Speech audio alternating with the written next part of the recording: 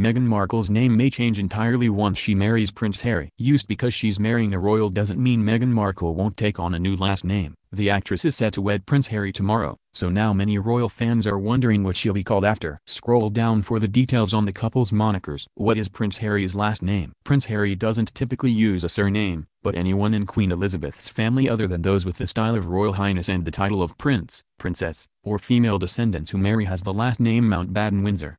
Harry also sometimes goes by Harry Wales, which refers to their father Prince Charles' title as the Prince of Wales. What is Meghan Markle's full name? Right now her full name is Rachel Meghan Markle. Yes, Meghan is actually her middle name. But once she and Harry tie the knot, her name could become Rachel Meghan Mountbatten-Windsor, if she wants. That is, junior members of the royal family have the option of using the surname, royal historian and author Carolyn Harris told Town & Country.